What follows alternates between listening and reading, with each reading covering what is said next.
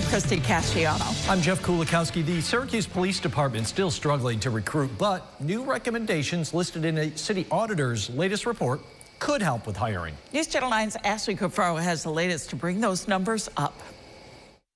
Protecting and serving the community is what Syracuse police officer Shaquille Muhammad enjoys the most. Honestly, I love my job. This is the best job I ever had. And it's like, even with everything going on in today's society, I wouldn't change it for the world.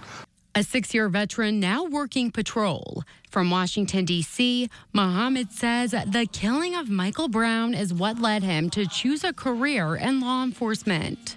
A lot of minorities were complaining about police brutality and, you know, a lot of issues that were arising with the police in the community. We go through a lot of issues just like everyone else, so there's really no barrier, no difference between us and the community, and it's like we all live and we learn. And not having enough officers continues to be a rising issue for the department. I'd say right now we're sitting at 54 vacancies, to be honest.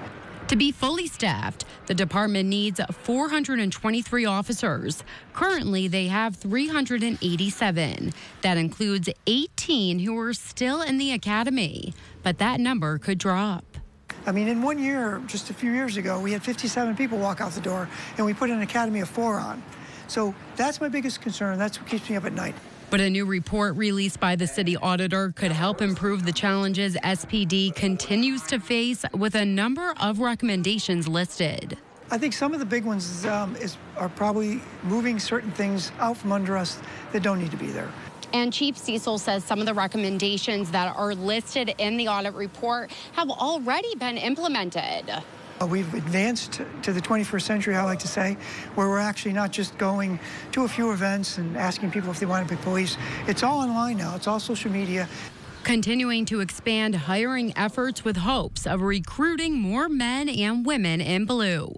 In Syracuse, Ashley Cafaro, News Channel 9.